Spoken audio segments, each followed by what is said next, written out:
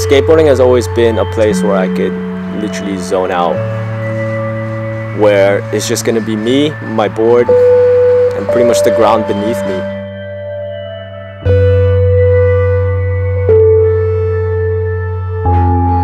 When you're on the wave, the feeling is really like like you're switching off or something. So that's that's why it's so fun. You don't even remember the waves that you surf. Can take 10 waves and you don't remember how many did you take and uh, what did you do sometimes because it's just really intense compared to meditation or something.